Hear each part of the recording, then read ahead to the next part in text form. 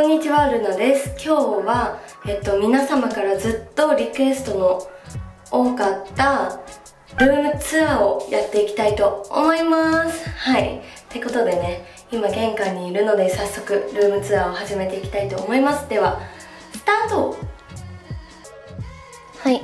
玄関入ったらまずこの玄関の横に大きいガラスがあってこのラグはリビングにあるラグと同じものでフランフランの玄関用のマットです。でこれもフランフランのなんかお花ずっと前から持ってるやつです。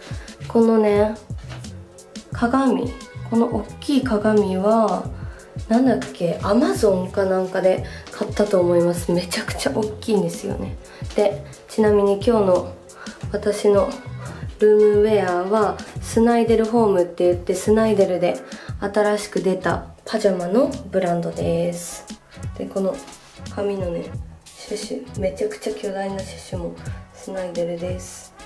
はい。ここがトイレかな。トイレはちょっと狭めなんですけど普通のトイレでシャネルのなんかいただいたやつ。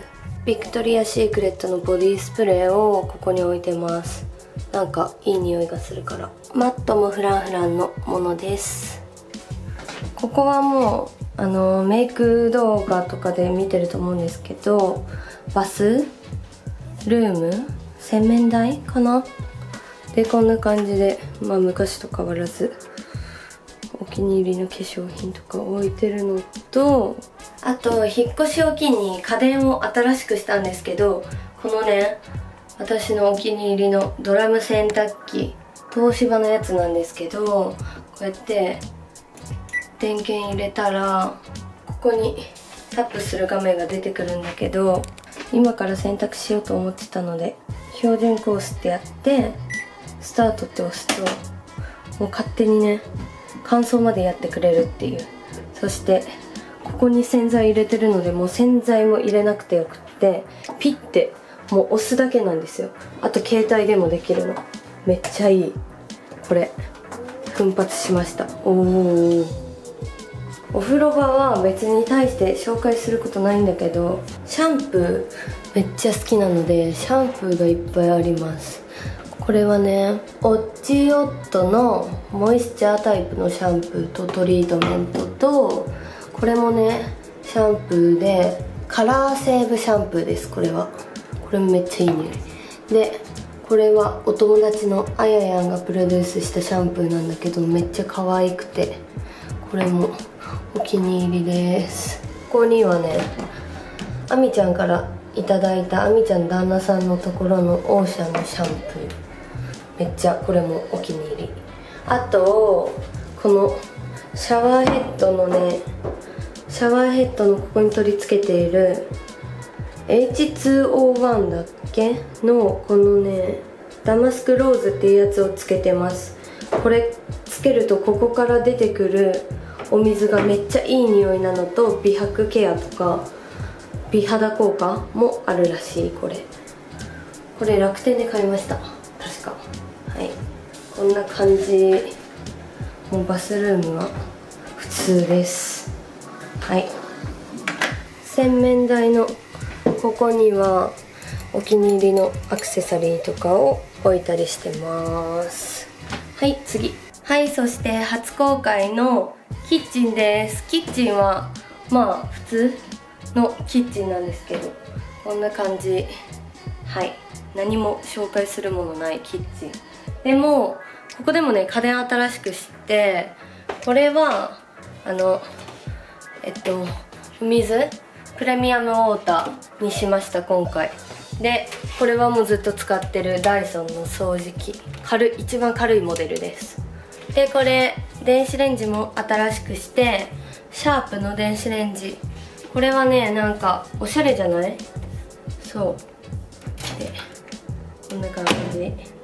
でこのねここが炊飯器とか入ってるのとティティのご飯。系が入ってます。炊飯器あんまり使わないのでねティティのご飯はいつもここで。こうやってこうやって出して朝ここで測って作ってます。はい。でこの棚は IKEA で全部オーダーして作ってもらってここを押すとまあグラスとか。下はよくよく使う食器とかが入ってます。はい。冷蔵庫の横にあるこれがパントリーなんですけどめっちゃ収納多くて汚いんだけど大丈夫かな。こんな感じで。食料とかパックとか調味料とかあとこういうものだったりを整理整頓して直してます。ここはだしとか。そう。ママとかから送ってもらったものとかを置いてます。でこっちはねまだちょっと引っ越してきて整理整頓できてないのでティティの買いだめのシートとかティティグッズとかここワイングラス入れてたりもうバラバラです。ガッチャガチャ。はい。はい。ティティさんです。ティちゃんみんなに挨拶して。挨拶して。みんなティちゃんだよ。はい。はい。ティティが座ってるこのソファ。ソファーはこんな感じです。IKEA で買いましたいくらか忘れちゃったんですけどベッドみたいなサイズのソファーが欲しくて本当は L 字が良かったんだけど部屋が狭いのでこれにしました。このソファーのいいところはこうやって横になっても足がね伸ばせるところとこの横幅が広いところがお気に入りです。もうね全然余裕で寝ちゃえます。こんな感じ。ねえティーちゃん。ね。気持ちいいよね。はい。このねブランケットは私のお気に入りのカシウェアのブランケットです。クッションはもう一つあるんですけど今洗濯中なのでクッションはフランフランで揃えてます。ピンクっぽい。でこのこれはエルメスのブランケット引っ越し祝いでいただきました。これ。ラグは玄関にもあったフランフランのラグです。ね。ずっとこれを使ってますね。テーブル今回新しくしたんですけど大理石のテーブルで全部大理石なんですけどこれ輸入家具で東京インテリアっていうところで買いました。10万円くらいですかね。めちゃくちゃ重いです。はい。どこを紹介したらいいのかな？これ？このテレビの横に置いてあるこの観葉植物は偽物です。ティティがねこういうの興味津々で食べちゃったりとかするので偽物なんですけど匂いとか吸い取ってくれたり殺菌効果とかあるものを楽天で購入しました。ここは匂い物とか置いてたりこういうのポンって置ける感じのやつ。テレビ台は IKEA で購入しました。結構大きいんですよね。横幅。結構空いてる。でテレビが60インチとかそのぐらいです。はい。ここにお気に入りの花瓶。っていうかちっちゃい花瓶を置いててこれが私のお家の匂いです。ザラホームで買った。これ。これを2つぐらい置いてて友達来たらいつもいい匂いって言われます。はい。でこここ？テレビの横？がこのヨガマットとか筋膜リリースのやつとかあとティティのおもちゃ箱。こんな感じでおもちゃがたくさん入ってます。でこのね横の照明めっちゃ聞かれるんですけどこれは東京インテリアっていうところで買いました。光らせるとめっちゃ綺麗。ここにねピッてやるとキラキラの。こんな感じです。ちょっと見えるかな？近くで。こういう感じでクリスタルっぽい感じの装飾がついてるやつ。超かわいい。はい。カーテンが届かなくてずっとルームツアー取れなかったんですよ。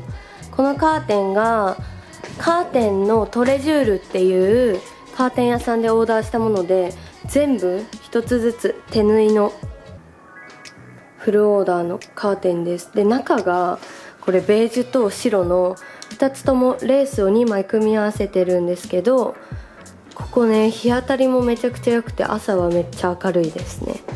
でもこのレースの2枚重ねのカーテンでトレジュールさんめっちゃ綺麗なので引っ越す際はおすすめです。これ多分全部で10万円ぐらいでした。はい。でここもガッチャガチャ。ティティコーナー。ティティのトイレシートとお水。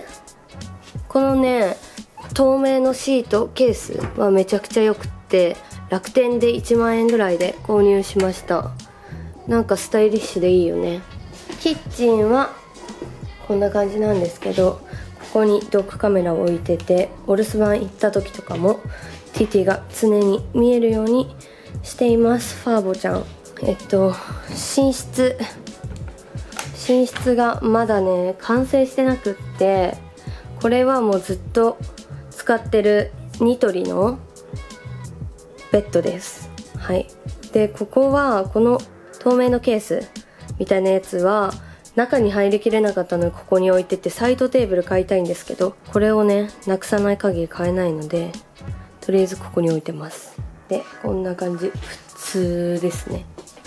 でこれはもうずっと前の家から使ってるシャープのやつ。でこの棚も適当に多分サイトで買ったやつですね。この新しくこの棚買ったんですけどこれも楽天で3万円いかないぐらいで買いました。楽天めっちゃ愛用者です。かわいい。